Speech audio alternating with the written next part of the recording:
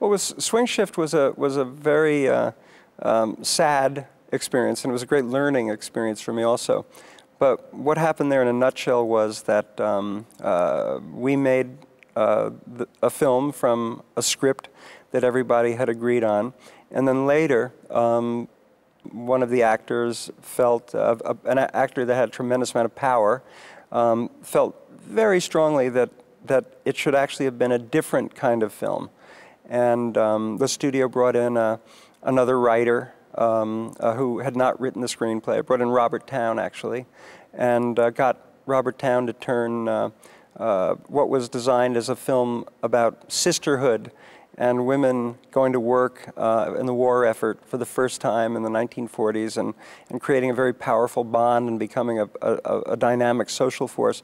Um, they wanted to now take that movie and turn it into more of a sort of a light romance to capitalize on um, uh, the chemistry between um, uh, the actors from the original film. And I, of course, didn't like that, and I fought it.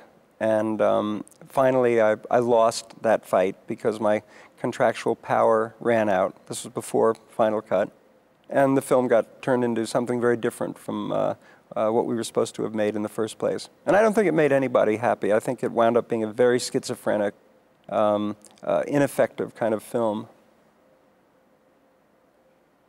Did that ever make you, that experience worry you with future projects? I mean, I cannot imagine what it'd be like to have something which, on which you've worked for so long, put together, and then to have it taken away and uh, mm -hmm. manipulated, changed, maybe even firing the director. I mean, do you live in fear of that? Well, um, this was a very interesting moment. Uh, as I look back, it's interesting. At the time, it was excruciating. But um, I made Stop Making Sense uh, at exactly the same time that I was editing and having all these tremendous difficulties on Swing Shift.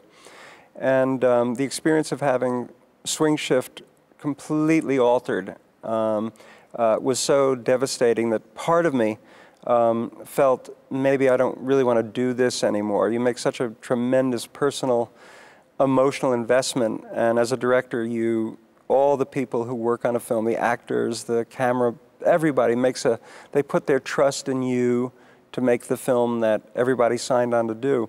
So it, it felt like a very deep, um, very, very, very devastating betrayal of what the work is all about, what my job is all about. And I really contemplated maybe, maybe I don't want to do this anymore. At the same time, Stop Making Sense was a beautiful experience. I had a great collaborative experience with David Byrne and all the talking heads and the film came out and it was exactly the way we wanted it to be and it met a lot of approval. So finally, um, I decided I would never do a film again.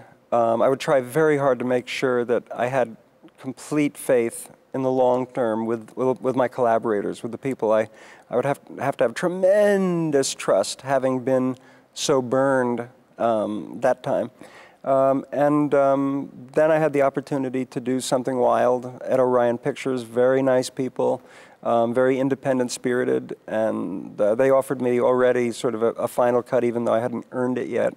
And uh, so something wild was kind of a, a rebirth for me. Uh, I started all over again.